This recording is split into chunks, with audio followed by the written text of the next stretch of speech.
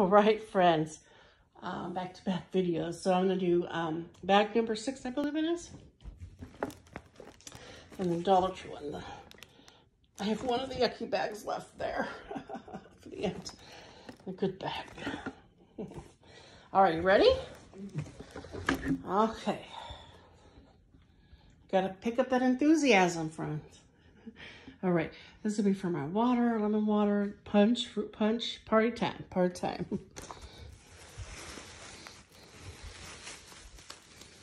Got um, some Lay's. Pretty, I love the color. Mm-hmm.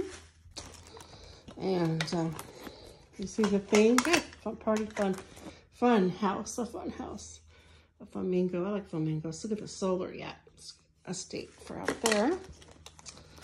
All right. Aha. Voila. Chocolates. I had gotten more, but I think Amanda put some away. The cabinets. Chocolates. All my other hauls there. We got another pineapple cup hibiscus.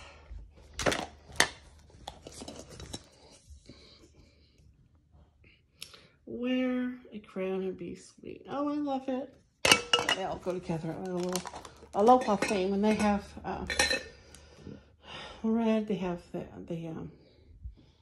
See, they have watermelon, all that. Mix and match. This is a glass jar. Yeah, sipper. That one's glass. All right. I got a body illuminizer. So cool.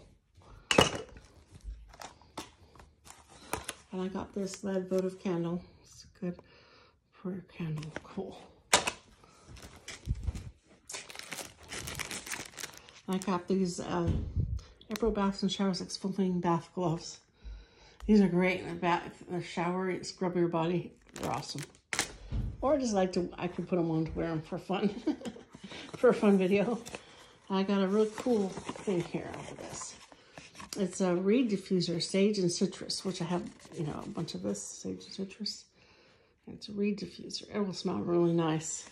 Okay, that is the end of my Dollar Tree haul. I hope you enjoyed. Take care now. Bye-bye.